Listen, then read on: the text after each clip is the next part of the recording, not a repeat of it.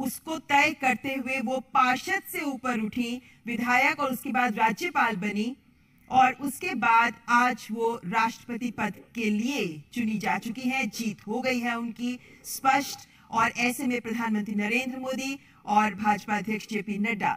इस वक्त यहाँ द्रौपदी मुर्मू के निवास स्थान पर जो उन्हें आवंटित किया गया है, प्रधानमंत्री नरेंद्र मोदी पहुँचे हैं उन्हें बधाई देने के लिए।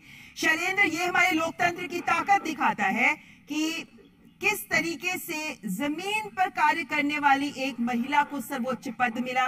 और ये पल वाकई अनूठा है। देश के प्रधानमंत्री खुद पहुँचे हैं, उन्हें बधाई देने निश्चित तौर पर बनता और आज एक इतिहास बनता हुआ हम सब देख रहे हैं।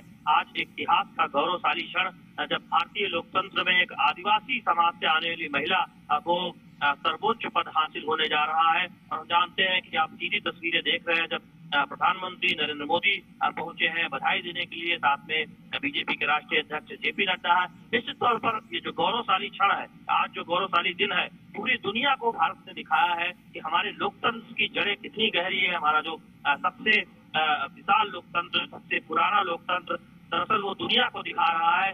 किस तरह से यहाँ पर सभी समुदाय के, सभी वर्गों के नृत्य का ध्यान रखा जाता है। और किस तरह से आदिवासी समाज से आने वाली महिला सर्वोच्च पद तक पहुँचती है। तो निश्चित तौर पर आज का दिन इतिहास सुनहरे अक्षरों में लिखा जाएगा और हम तो इतिहास बनते हुए दिन देख रहे हैं। देश भर से जो तस्वीरें आ रही हैं। वो आनंदित करने वाली है वो उत्साहित करने वाली है। और दर्शकों को ये भी बताना चाहेंगे की जब राष्ट्रपति चुनाव के आंकड़े स्पष्ट हुए जिन्होंने ये दिखा दिया कि द्रौपदी मुर्मू ही अगली राष्ट्रपति है देश की बन रही हैं उसके बाद